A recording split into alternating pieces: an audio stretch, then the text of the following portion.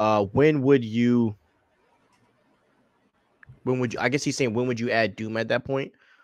Uh, I think that Doom's going to play a big key role in uh Secret Wars. Uh, to be honest. Yeah, I think Doom. Listen, you can't have a Doom story without uh, a Secret War story without Doom. That's like doing Infinity War without Thanos. It does not make sense. Marvel is not dumb. They are not going to do that.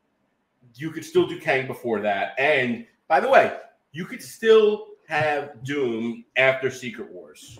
Like, even if you kill him off in Secret Wars, there's ways to bring him back. They are not bringing in Doctor Doom for one movie. That would be like the DCU bringing in Superman for one movie or bringing in Lex Luthor for one movie.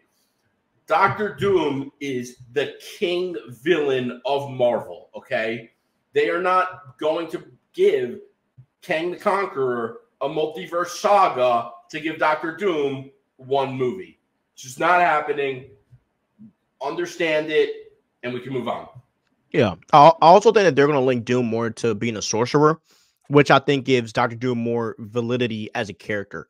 Because a lot of times they link Doctor Doom to the Fantastic Four, but what makes Doom universal, right, isn't that he's just the villain for the Fantastic Four. What makes Doom universal is the fact that he is, you know, he goes toe to toe with Doctor Strange. Like a lot of people don't understand, Doctor Doom is is the greatest sorcerer in Marvel comics.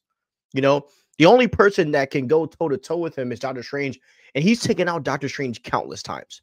So, you know, and you know, there's obviously that rumor going around that um Doctor Doom is going to be in um what's called it? Uh, he's going to be in Doctor Strange 3. And that's the way that he's going to get introduced instead of the Fantastic Four movie, which is something that I'm really excited about because there's a lot of good stories with with Doctor Strange and Doctor Doom.